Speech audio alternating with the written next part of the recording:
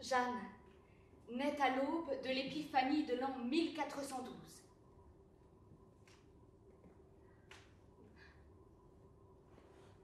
Elle est blanche et contente, gorgée de lait et d'azur. La maison natale lui sourit, avec des murs de gros grès roses, avec son toit de chaume. Jeanne, Dieu t'enlèvera toute peur.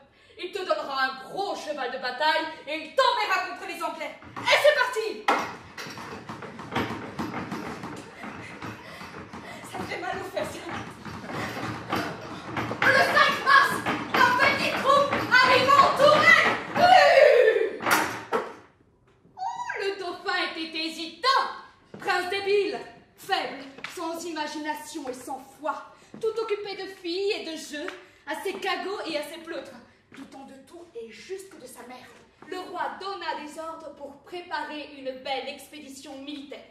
Cette armée serait placée sous le commandement De la pucelle Rendez à la pucelle les bonnes villes que vous avez prises et, et violées en France, sinon elle vous en cuira.